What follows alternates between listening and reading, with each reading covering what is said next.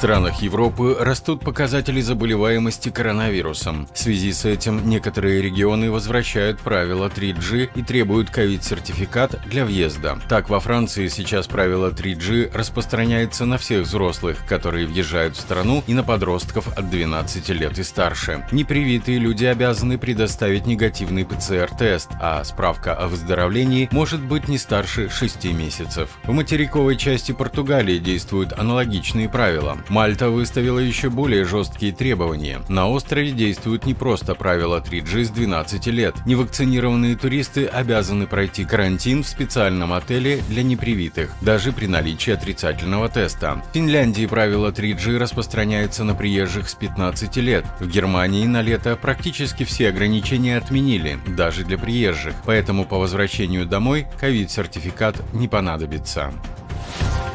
Бесплатные экспресс-тесты на ковид в Германии закончились. Теперь за анализы на станциях тестирования или в аптеках придется платить 3 евро. К такому соглашению пришли министр здравоохранения Германии Карл Лаутербах и министр финансов Кристиан Линдер. По новому регламенту тестирования бесплатные экспресс-тесты останутся доступными только определенным группам лиц. Сделать анализы за счет государства могут по-прежнему люди, которые не могут вакцинироваться по медицинским показаниям. Также бесплатными тестами тестами могут воспользоваться дети до 5 лет, члены семьи больных ковид, жители и посетители домов для престарелых, людей с инвалидностью и посетители больниц. Бесплатно обязаны протестировать выздоровевших от коронавируса, чтобы они могли вернуться к работе другим темам. Ассоциация немецких транспортных компаний подсчитала, что только за июнь жители Германии купили около 21 миллиона билетов за 9 евро. Кроме того, он поспособствовал облегчению дорожного движения в крупных городах страны. Так, специалисты по данным о загруженности трафика сообщили о снижении пробок в 23 из 26 обследованных городов. Между тем, Deutsche Bahn сообщает о росте числа пассажиров в своих региональных поездах на 10-15% в июне июне по сравнению с тем же периодом в докризисные времена. Не меньший интерес билет за 9 евро вызывает у жителей Германии и в июле. Он ожидает, что количество проданных билетов будет еще больше.